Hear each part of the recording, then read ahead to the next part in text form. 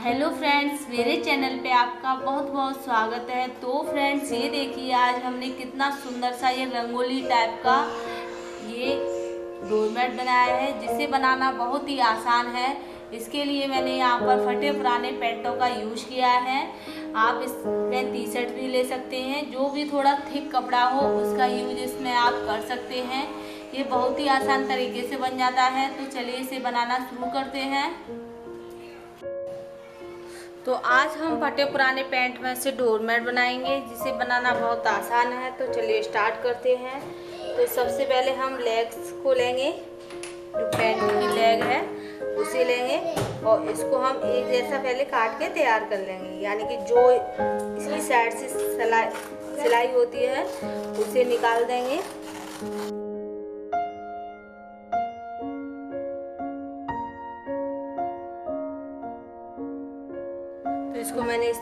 Cut कर लिया है। तो अब हम कोई छोटा सा ढक्कन लेंगे और इसके हम गोल गोल पीस कट करेंगे। तो इस तरीके से हम अब इस पर निशान लगा लेंगे एक चौक हेल्प से।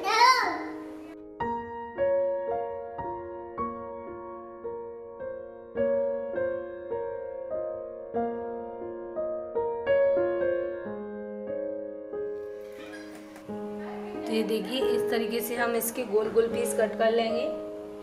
तो इसी तरीके से हमें जितने इसकी पीस की ज़रूरत है, उतने हम इसी तरीके से गोल गोल पीस कट कर लेंगे और जितने भी हम कलर इसमें लगाएँगे, इसके साथ और उन सभी को हम इसी तरीके से कट कर लेंगे।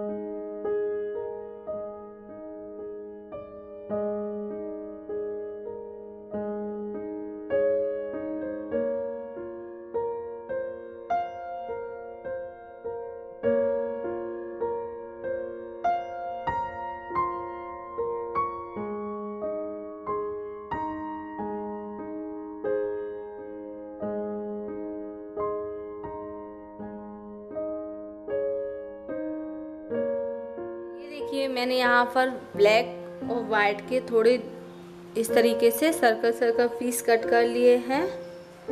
तो अब चलते हैं हम, इसके लिए बेस देख लेते हैं। तो मैंने यहाँ पर एक पेंट का कपड़ा लिया है और जिसमें से मैंने यहाँ पर सर्कल आकार में से कट कर लिया है। तो मैंने यहाँ पर इसको सर्कल आकार में कट कर लिया है। तो अब हम इसे सिलेंगे। तो सबसे पहले मैं यहाँ पर वाइट रखूँगी। तो इस तरीके से हम इसमें वाइट पीसेस रखेंगे। इस तरीके से, और इस पर हम सिलाई लगाते जाएँगे। तो इसी तरीके से हम इसके चारों ओर वाइट पीस रखेंगे और इस पर सिलाई लगा लेंगे। तो इस तरीके से हम इसे रखेंगे। यहाँ पर जो हमने गोल पीस कट किया है, और इस तरीके से हम इसके साइड में रखते जाएँगे और आधा आधा इंची का हम इसके ऊपर रखेंगे इस तरीके से। तो इसी तरीके से हमें इसके ऊपर रखना है, जिससे हमारी बहुत ही अच्छी डिज़ाइन आएगी। इस तरीके से। तो हम इस साइड से भी आधा इंची का छोड़ देंगे।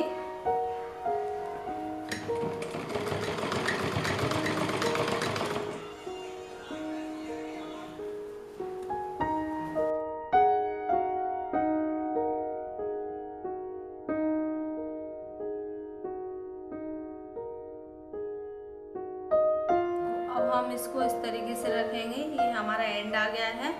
तो अब हम इसे यहाँ पर इस तरीके से रखेंगे। यानी कि जो हमने आधा इंची का पहले गैप छोड़ा था, उसकी हम इस तरीके से नीचे रखेंगे।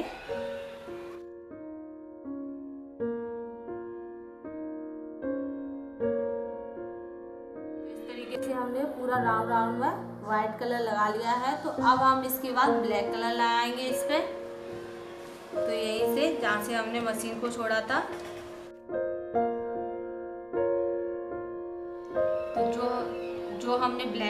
किया था तो अब हम जहाँ पर हमने सिलाई लगाई थी, उसी के ऊपर इसको रखेंगे और इसी तरीके से हम इस पर भी सिलाई लगा लेंगे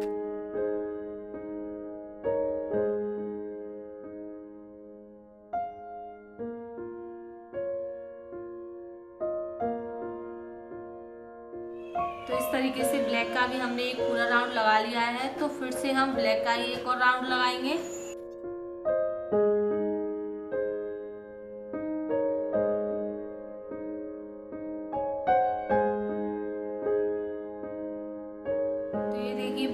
मैंने दूसरी लाइन लगा ली है तो अब हम इसके बाद वाइट लगाएँगे।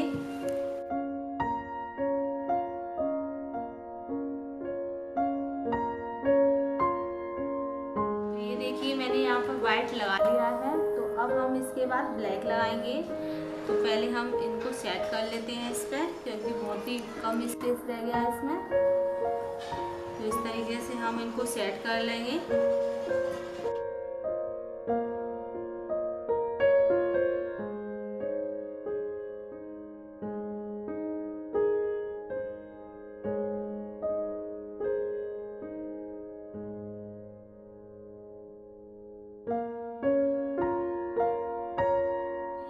मैंने इसको यहाँ तक लगा लिया है। तो पहले मैंने वाइट लगाया, उसके बाद ब्लैक फिर से ब्लैक फिर वाइट फिर ब्लैक तो अब हम यहाँ पर वाइट लगाएँगे। तो ये देखिए, हमारा कितना खूबसूरत सा लग रहा है। तो इसको हम सुई और धागे से टाक लेंगे। तो इसे हम टाँक लेते हैं। तो इसको मैंने सिल लिया है। तो ये हमारा कितना सुंदर सा ये डोरमेट लग रहा है। इसको मैंने बहुत ही आसान तरीके से बनाया है। मैंने इसको फटे पुराने पेंटों में से बनाया है। जिसे बनाना बहुत ही आसान है। इस, इसको मैंने एक डिब्बे के ढक्कन, यानी कि जो डिब्बे का हमारा कैप होता है, उसकी हेल्प से मैंने इसको बना लिया है। तो अगर आपको मेरा ये वीडियो पसंद आए तो प्लीज़ मेरे वीडियो को लाइक करें और मेरे चैनल को सब्सक्राइब और शेयर करें। फिर मिलेंगे नई वीडियो के साथ। तब तक के लिए बाय बाय टेक केयर।